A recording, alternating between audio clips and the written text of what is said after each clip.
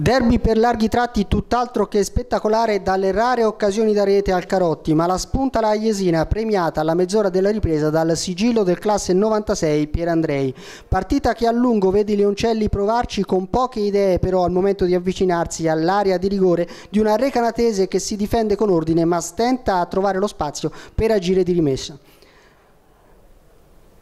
Nell'11 Leoncello Bacci recupera in extremis Carnevali e punta su un 4-3-3 in cui davanti Iazzetta e Rossini accompagnano Pierandrei.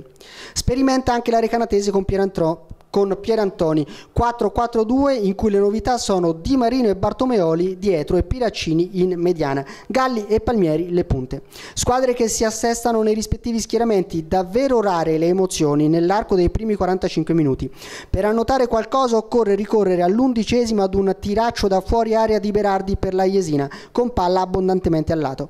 Stesso discorso per il tentativo al 41esimo della Recanatese con Galli che ci prova da fuori assolutamente senza impensierire Tavoni che controlla a terra. Si va al riposo con tanta noia per lo sparuto pubblico. Al rientro invece subito una fiammata da parte della Jesina. Dopo due minuti calcio di punizione dal limite dell'area. Ottima l'esecuzione di Rossini, spettacolare il volo di Verdicchio a negare il gol e mettere in calcio d'angolo. Gara che torna a bloccarsi, l'area canatese ci riprova con Galli al 54esimo, ancora un tiro dalla lunga che non inquadra lo specchio. Al 55esimo gli ospiti protestano quando Palmieri viene fermato in posizione di fuorigioco.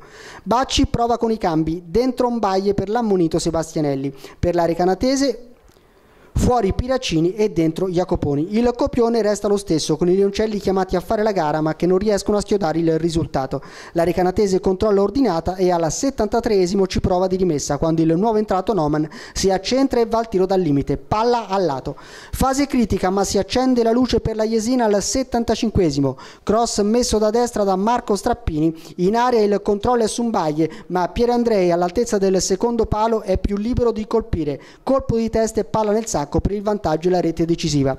Gara che si apre un po' una volta spezzato l'equilibrio, Leoncelli che provano di rimessa. Nicola Cardinali tenta il contropiede solitario, tirando una prima volta su Verdicchio e poi concludendo alto sulla respinta all'83esimo. Ancora Nicola Cardinali tenta la via del gol su punizione all'85esimo, palla alta. Chiusura con la Jesina che reclama sull'ultimissima azione quando al quarto minuto di recupero Mbaye va giù in area recanatese ma l'arbitro fa proseguire.